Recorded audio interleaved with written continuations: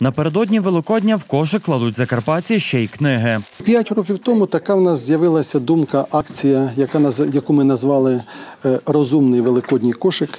Цього року Закарпаття отримало 30 таких великодніх кошиків. Їх вміст це друкована продукція, книги, журнали та багато приємних сюрпризів. від Київської гімназії лялька Мотанка. Ну, ми в свою чергу також їм щось передамо. І ілюстрований е, додаток. Голова благодійного фонду каже, що року газета обирає регіон, куди саме передати так звані розумні великодні кошики. Минулого року вони були адресовані на Донбас. Цього ж року представники благодійного фонду вирішили приділити увагу Закарпаттю. Нам так здається, що саме Закарпаття.